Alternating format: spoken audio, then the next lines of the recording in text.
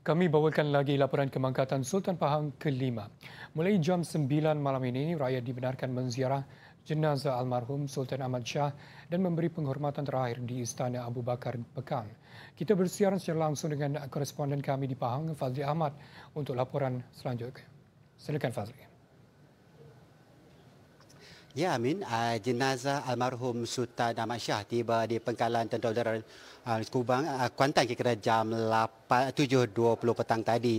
Uh, jenazah kini uh, dalam perjalanan ke Istana Abu Bakar di pekan ini dan jangka tiba bila masa dari sekarang.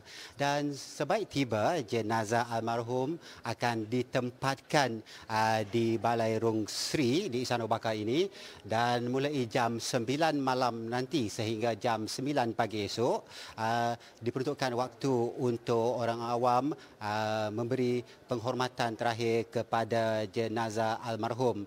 Orang awam juga ya, yang menziarahi jenazah almarhum dibenarkan untuk menunaikan solat jenazah sama ada secara bersendirian atau secara berjemaah di Balai Rung Sri. Dan orang ramai yang datang ini juga dinasihatkan memakai pakaian uh, bersesuaian untuk berkabung iaitu uh, pakaian serba hitam. Manakala bagi kaum wanita uh, dinasihatkan uh, memakai tudung atau selendang dan syarat pemakaman akan bermula jam 11 pagi esok apabila uh, jenazah almarhum akan ditempatkan di Balai Rung Sri ini dan untuk uh, membolehkan uh, kerabat terdekat dan orang kenamaan memberi penghormatan terakhir.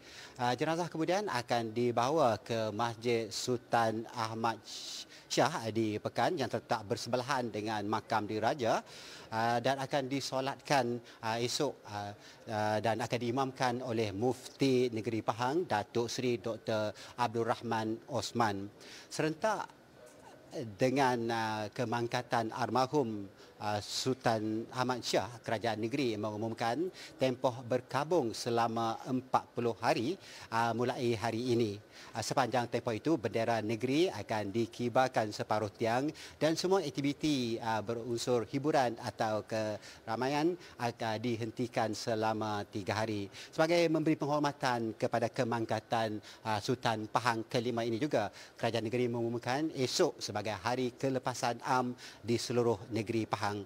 Dan ketika ini persiapan rapi untuk menunggu ketibaan jenazah almarhum Sultan Ahmad Shah telah pun dilakukan dan jenazah dijangka tiba di sini bila-bila masa dari sekarang. Sekian dulu dari Istana Abu Bakar kembali ke studio.